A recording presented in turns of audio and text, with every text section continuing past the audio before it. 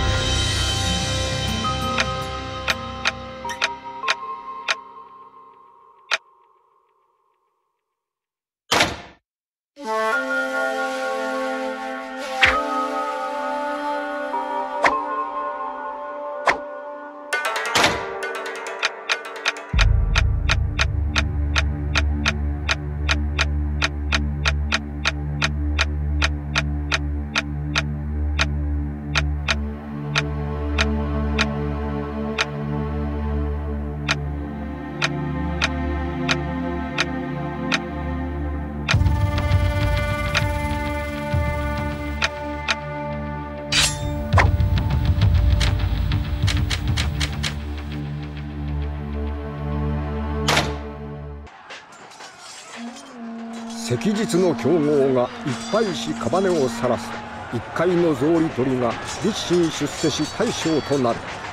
戦は戦を呼び田畑は荒れ人心は乱れる。尾張の織田信長をはじめ名だたる武将が天下を奪い合いいつ果てるともなく戦い続ける戦国の世。ここ義州天野の地でも名門桜井家の栄光は希望が夢となり下克上により牽制を振るう乱世の英傑藤森主膳が天下をうかがう。強くただひたすら強くそれが主膳が求める国のありよう。だがそのために天名の民草はひたすら十九にあえぐ。そう戦が絶えることはない。今も一つの戦が終わった。だが類々と横たわるカバネたちだけが戦いを終えることができる合戦場をさまよう者にとって地獄とはあの世かそれともこの世かそれを知る者は誰もいない。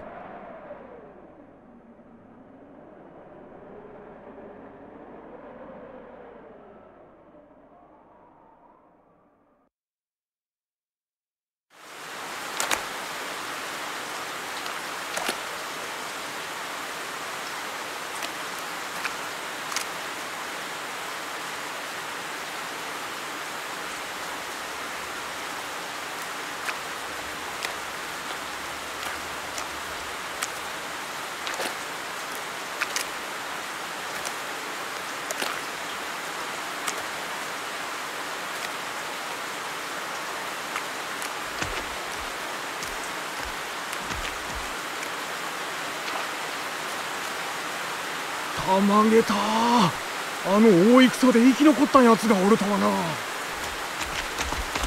おいおめえ様大丈夫かよ？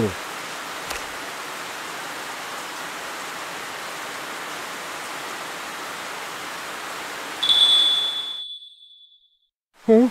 どうした？おおおいおめえ様おめえ様よどうする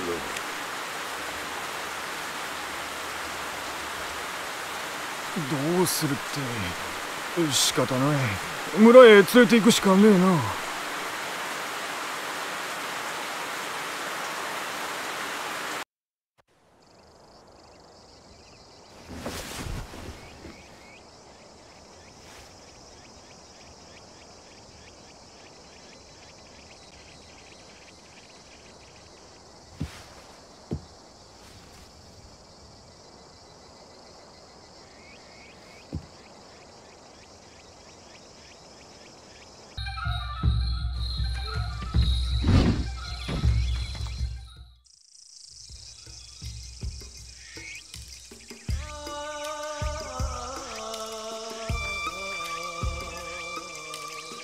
ここは戦場ではない。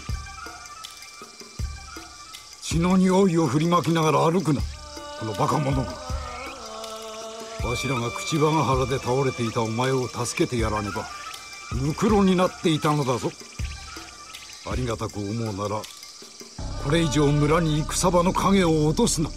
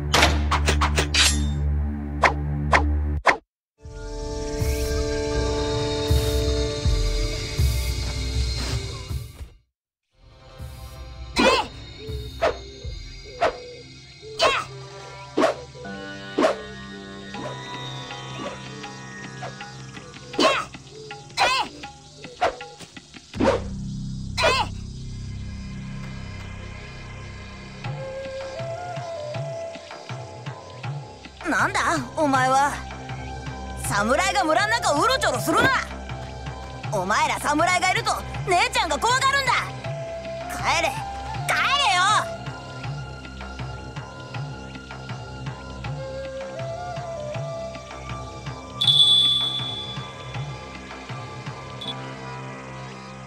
おいお前おいらを言いくるめようとしたってそうはいかねえぞ。やめなさいコウタ。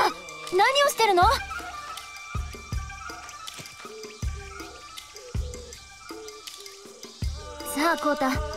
ょ。でもこいつが。いいから。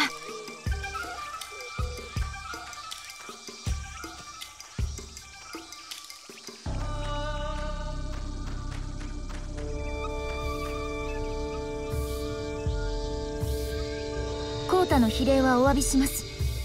でもこの村に侍が不要なのは本当のこと。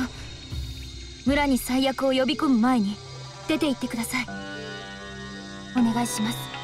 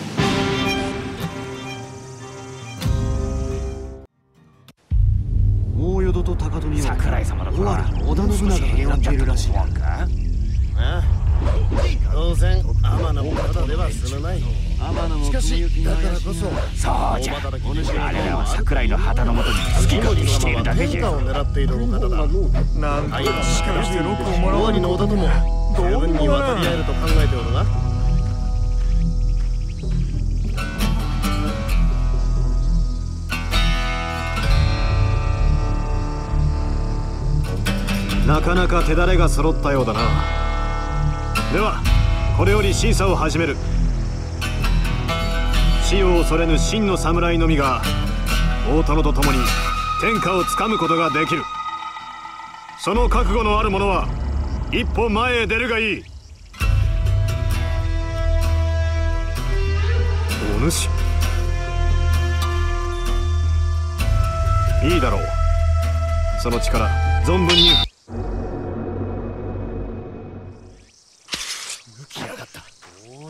あやつ気は確かかどうした相手が梅宮殿だと分かっているのか何の真似だ？この連中では不服だというのか？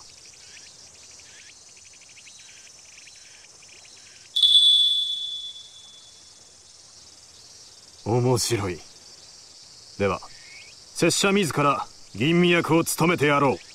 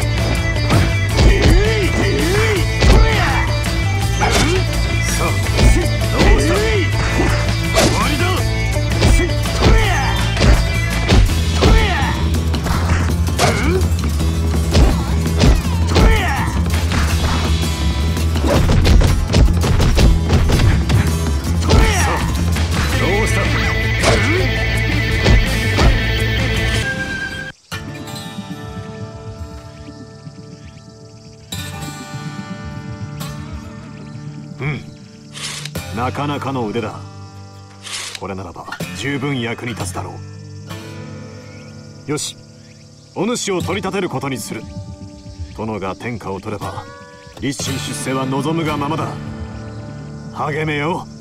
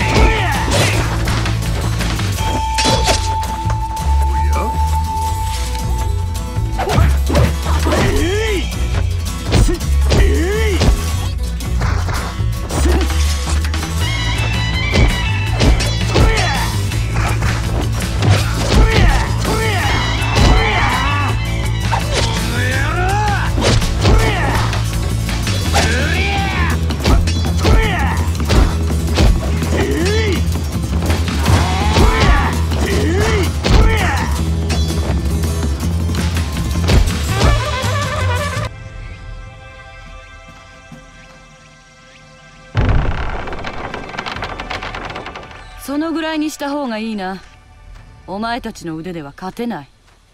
いつで？なんだと？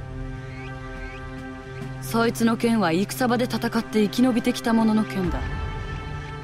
口先だけのお前たちとは違う。お前。本当のことだな。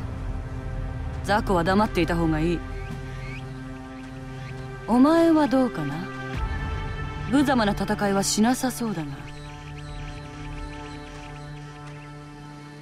とはいえ私の背中は預けないんだな。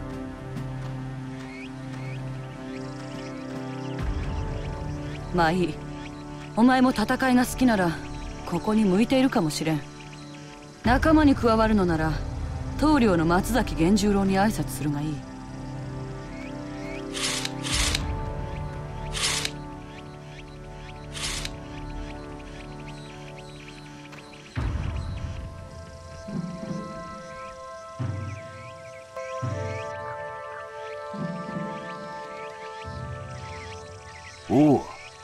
く来たな。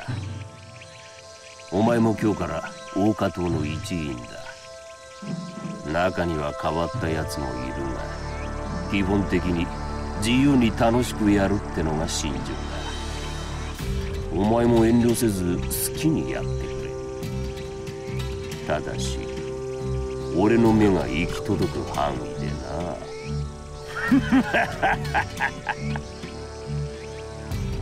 梅宮優馬だ。真の侍がまた一人馳せ参じてきてくれたか。よく来てくれた。歓迎する。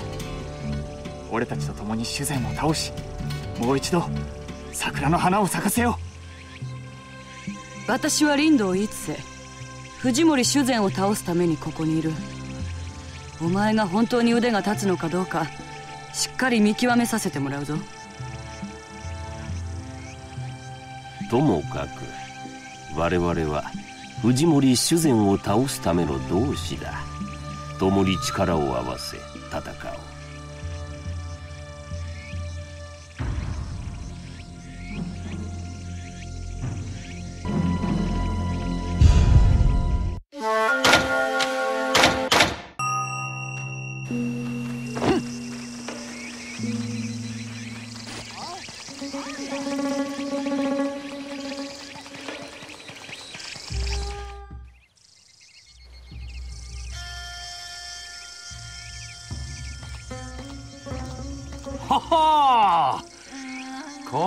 た実に興味深い。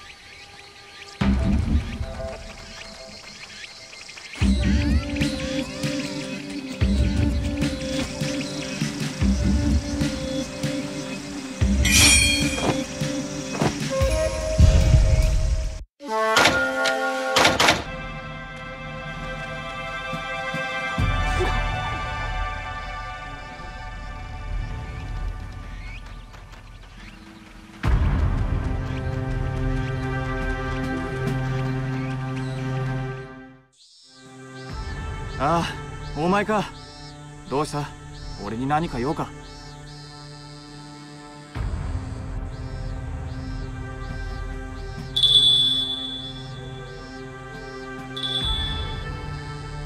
お前も知っての通り義州天野は代々桜井家が治めていた国だ。それを配下であった藤森修善が下克上とかほざいて奪っていったのだ。桜井家の禄をはんでいた者として俺たちはお家の復興のために戦っている。大加藤は真の志を持つ侍集団として打倒藤森のための力を蓄えているのだ。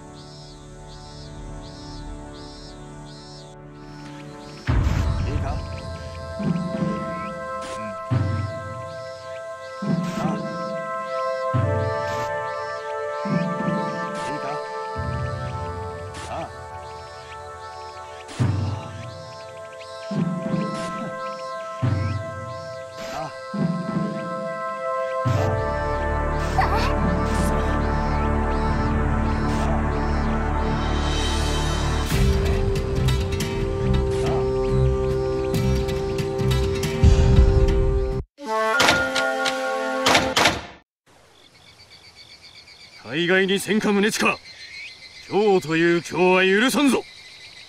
割り当てた年貢米払わんのなら我々にも考えがある。払わんなどとは言っておらん。払えんと言っておるのだ。我々も子供の使いではない。手ぶらで城に帰れるか。だがわしらもない袖は触れん。来年の種もみに手をつけるような真似は藤森修善殿も望まれまい今日のところはまずその旨を藤森殿に報告に変えられてはいかがかな。ええのらりくらりとその手には乗らんぞ。どうしても手ぶらで帰れぬと言われるのならば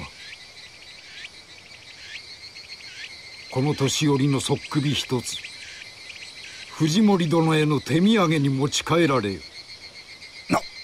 なんだと？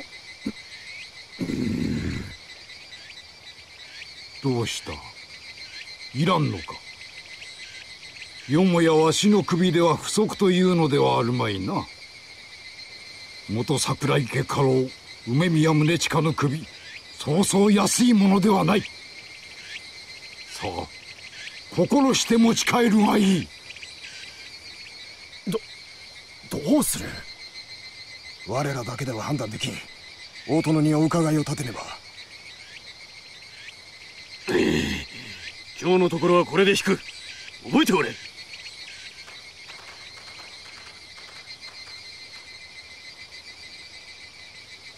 わしの首に用がないならお前もとっとと立ち去るがいい。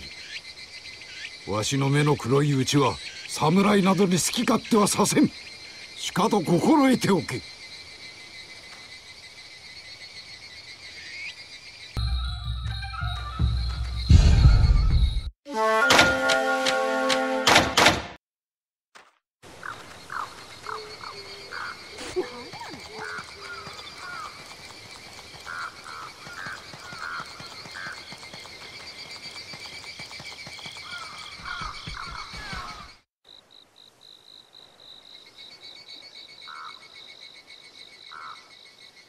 いやー何ね。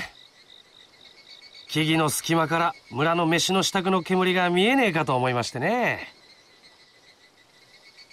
私は飯を炊く煙が大好きなんですよ。戦の煙が全て飯を炊く煙に変われば皆が幸せに暮らせるのにね。国がいくつもあるから戦が起こる。この世に国がたった一つなら戦なんてもんはなくなるはずですよ。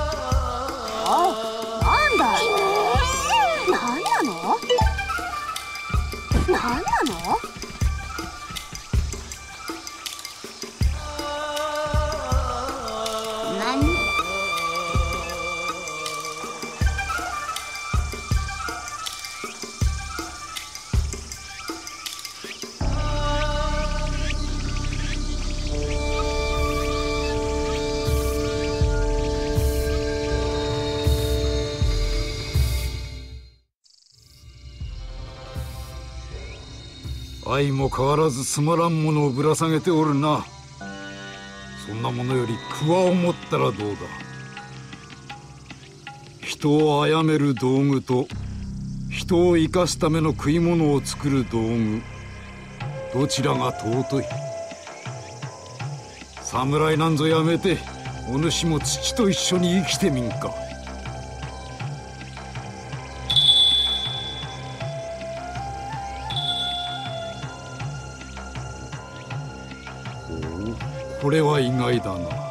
そのような返事が聞けるとは。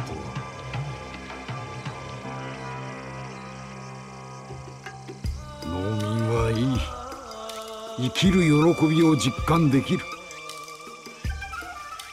それがわしの息子たちにも伝わればいいのだが。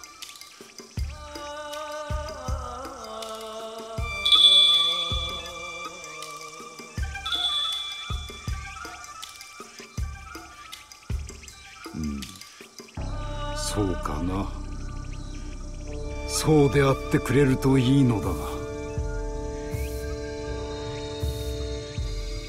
余計なことを口走ってしまった。まあ気にするな。お主も気が向けばまた来るがいい。畑仕事のいろはを教えてやろう。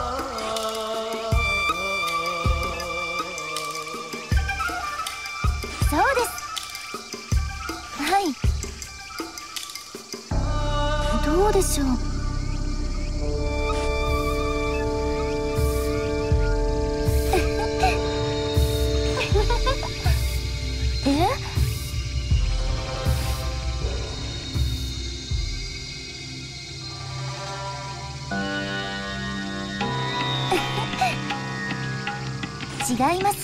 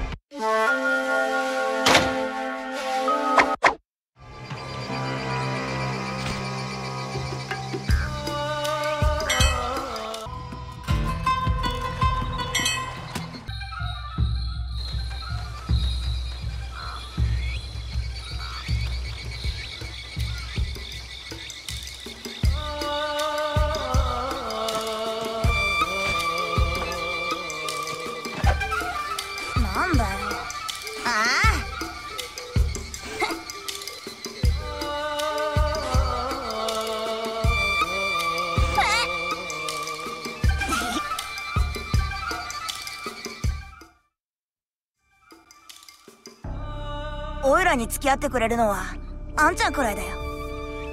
みんなオイラが子供だからって誰も相手にしてくれないんだ。でも今に見てろよ。オイラには立派な刀だって。そうだ。特別にあんちゃんにだけは見せてやるよ。オイラの刀を。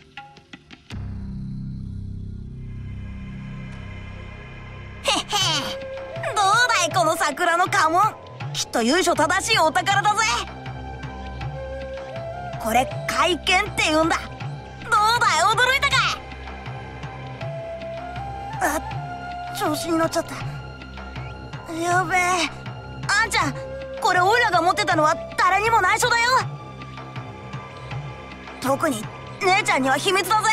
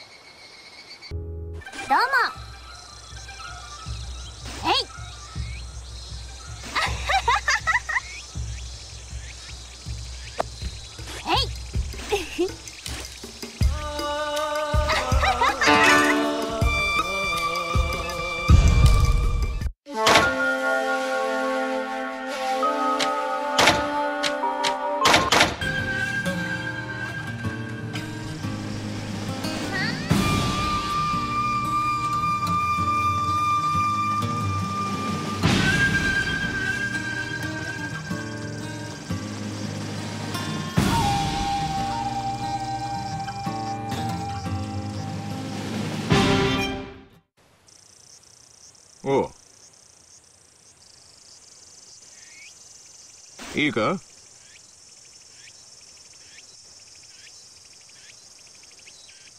なんだ？あ？いや。いいか？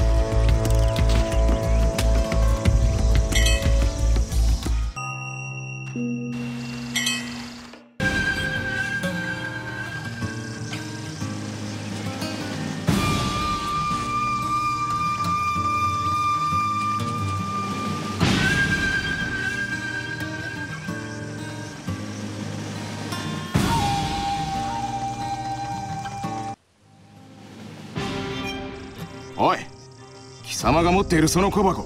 それは何だ？なんだとは？ただ薬が入っているだけだが。俺が言っているのはその箱の蒔絵のことだ。それは桜井の家紋ではないか。俺は知っているぞ。貴様がかつて桜井の三本刀と呼ばれていたことをなおかしいと思っていたのだ。桜井の中心が藤森家に仕官するなどな。昔の話はよしてもらおう。今の拙者は大殿に忠誠を誓っている。小箱も便利だから使っているだけ。ゲスの勘繰りはやめてくれ。ゲスの勘繰りだと？どうかな？貴様の魂胆など分かっているのだぞ何を根拠にしてのその物言いだ？何か証拠でもあるのか？証拠もないのにおかしな言いがかりはやめてもらおう。迷惑だ。いつか貴様の尻尾を掴んでやるぞ。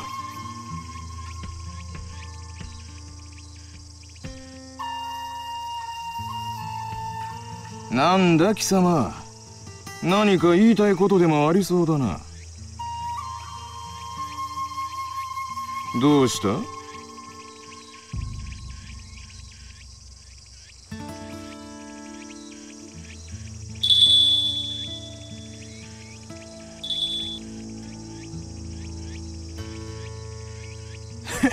役立たず。がどいつもこいつも。お主まさか。いや何でもない。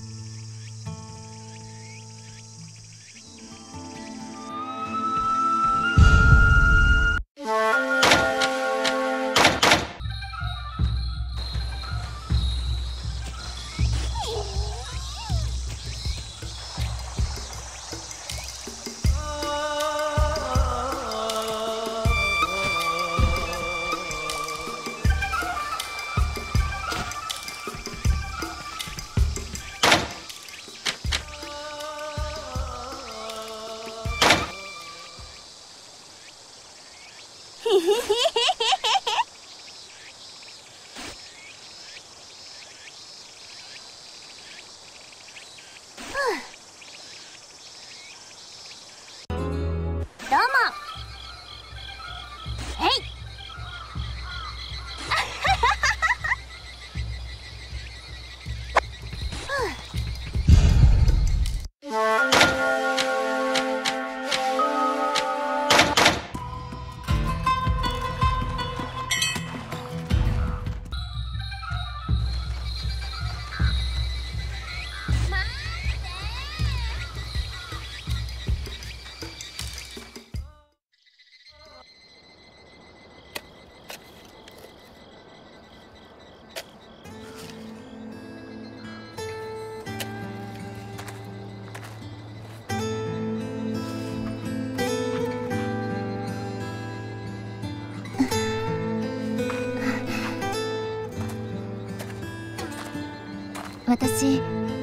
前は自分の手で何かを成し遂げたことなんてなかった。でも今はこうやって畑を耕し明日への希望を育てることができる。私今とても幸せです。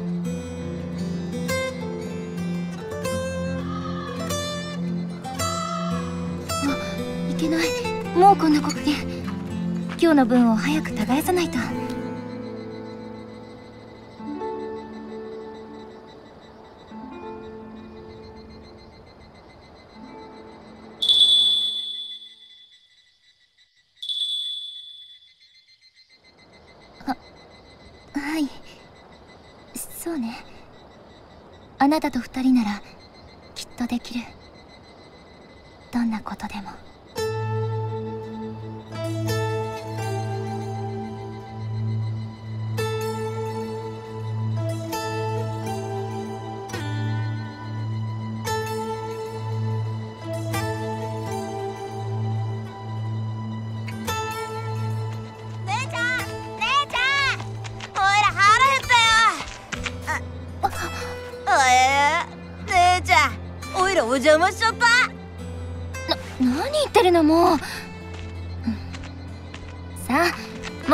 てお食事にしましょう。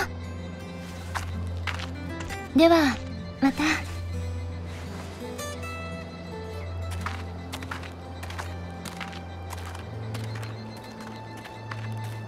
夕焼け小焼けで真っ赤っか。姉ちゃんのお顔も真っ赤っか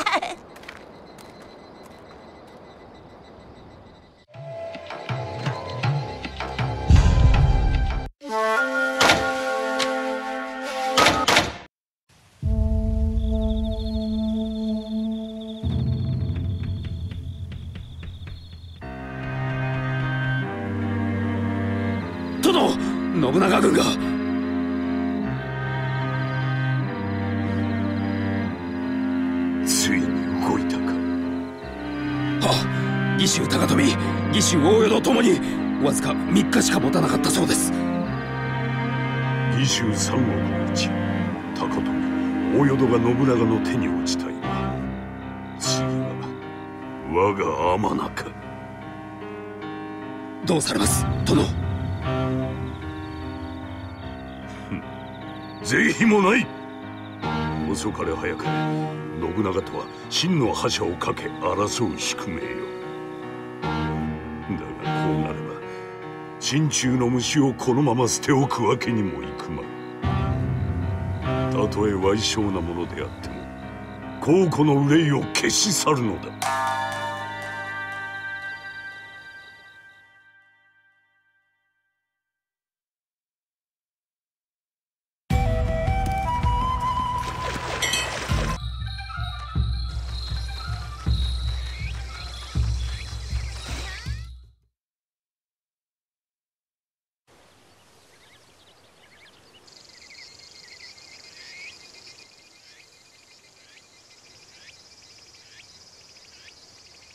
城は藤森の兵に囲まれてあれじゃみんな殺されてしまいます。因果応報。今まで好き放題をやってきた信氏どもが報いを受けておるだけだ。わしらが関わるなどもってのほか放っておけ。でもそれではユーマさんが。あれとはもう縁を切っておるどこでのたれ死のうとわしには関わりのないことだ。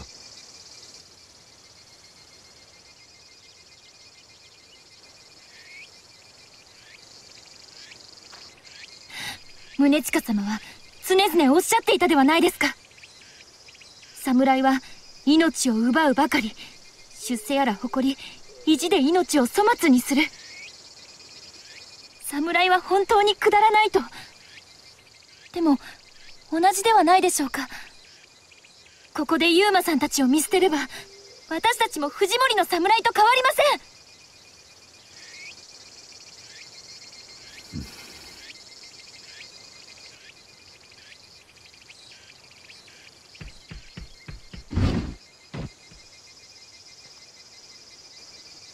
ん。わしはわしは謝っておるのだろうか。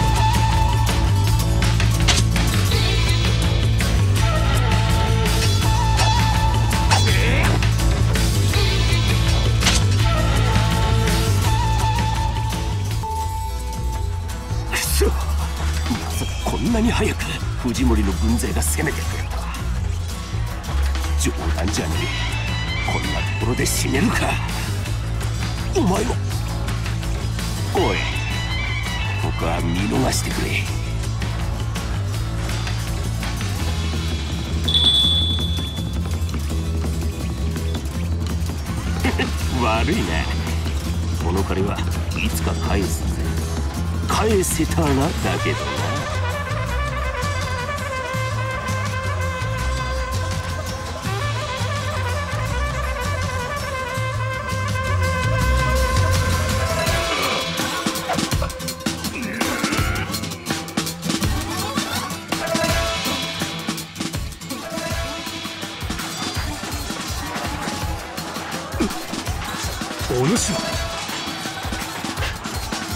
ここに来たのは大加藤への助太刀か？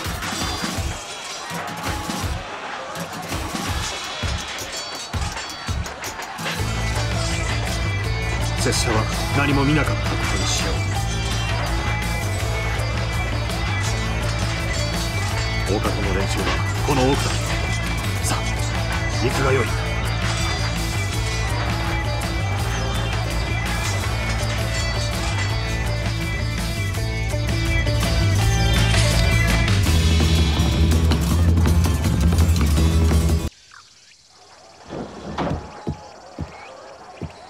藤森軍に正門を突破されたか。ここまで来るのは時間の問題だな。だが大加藤の意地見せてやるぞ。副長裏門からならばまだ脱出できますが。貴様俺に逃げろというのか。バカな。桜井家最高のために俺は戦ってきたんだ大加藤が全滅すればその夢はついえる。ならば俺が生き残る意味などない。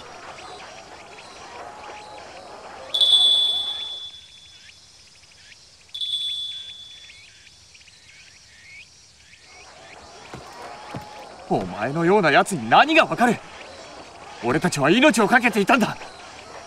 俺たちが滅びればもはやこの地に桜が咲くことはあるまい。一日先週の思いで桜井家最高を夢見てきた。その思いがお前にはわかるか？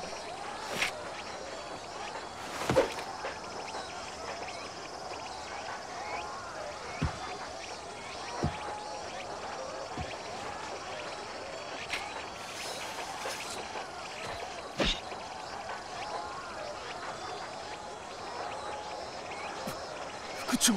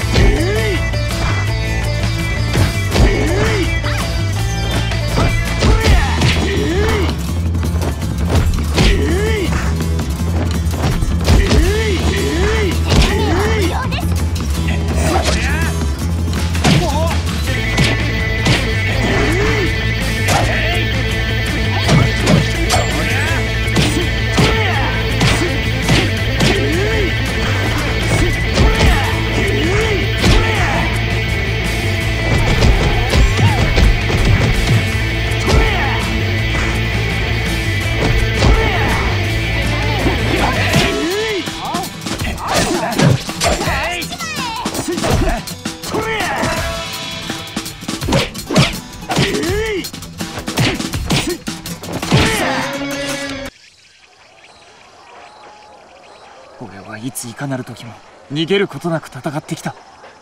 それが俺の誇りだった。だが死ぬことだけが侍の道ではないと。お前はそう言うんだな。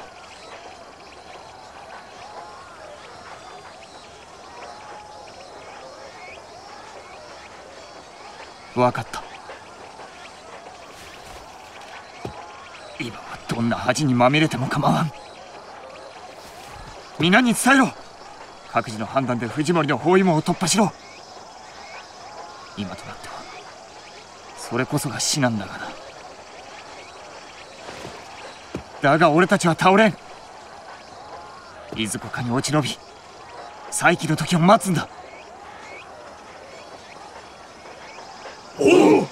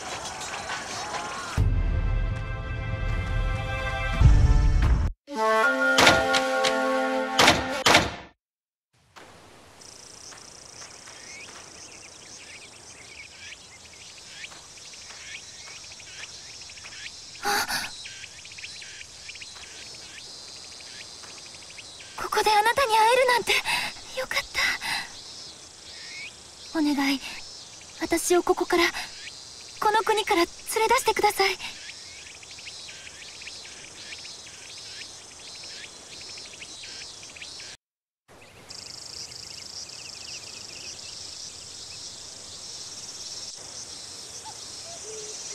実は私は藤森の手の者に追われているんです。今も追っ手がかかって藤森の者がもう高種村にまで。これ以上村のみんなに迷惑はかけられない。だからもう村にはいられません。訳はこれ以上聞かないで。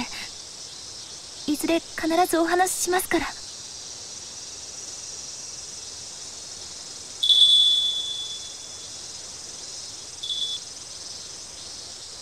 私と一緒にいたら多分あなたに迷惑をかけてしまう。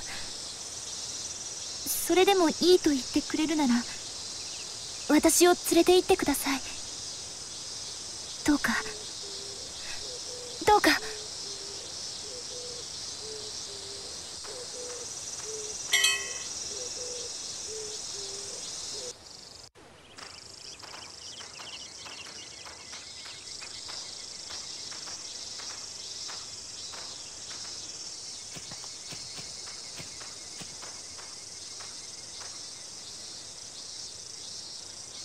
このまま国を出れば私はただの村娘として生きられる。そうあなたと共に二人で。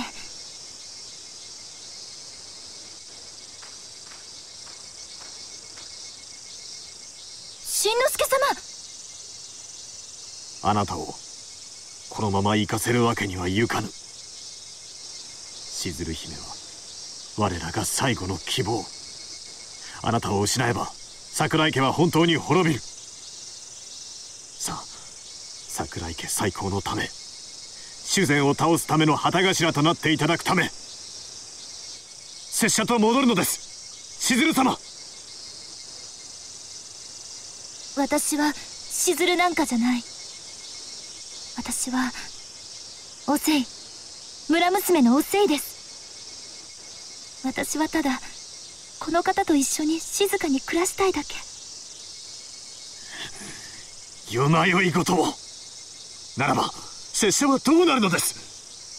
桜井家再興のため裏切り者の汚名をかぶって御敵修繕に仕えたこの屈辱を。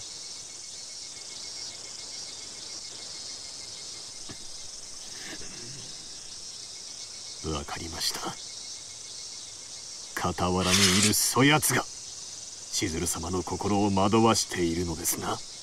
この者がいなくなれば千鶴様が心を惑わすこともない。そんなしんのすけ様。問答無用。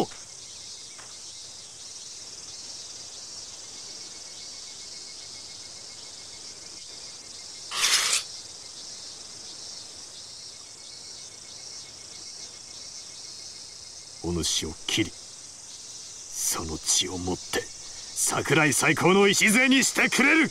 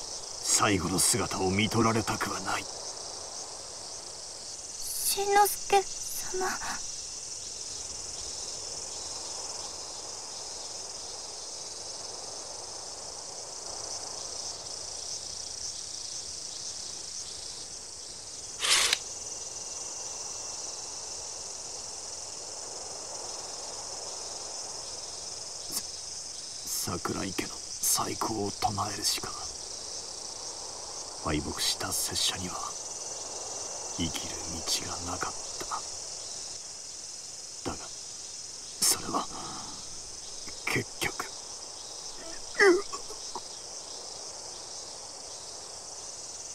お主なら託する。しずる。おせいを。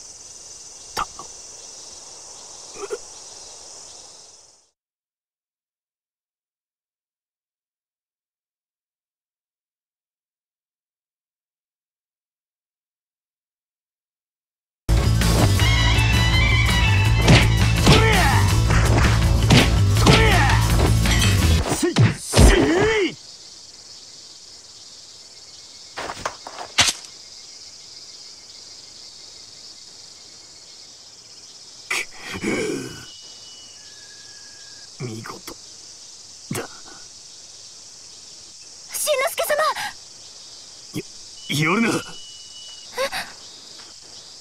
あなたはもはや拙者に用などないはず。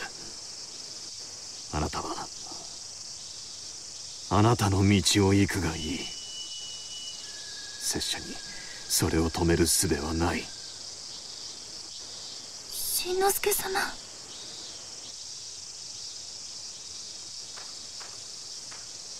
お主がなぜとどめを刺さないのかは知らぬだが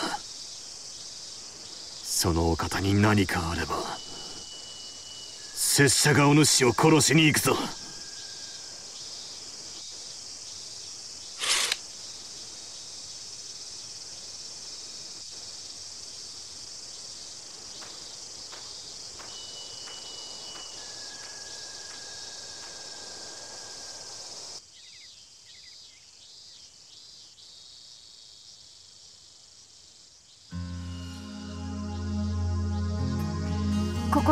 はもう天名ではないのですね。あと一歩進めばもう私はしずるではなくなる。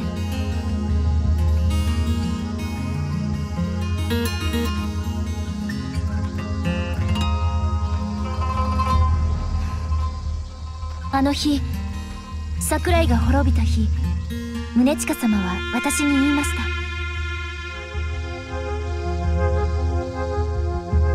主膳の手が伸びるなら手の届かない場所に一人逃げろと。私は怖かった。一人で生きていくなんて。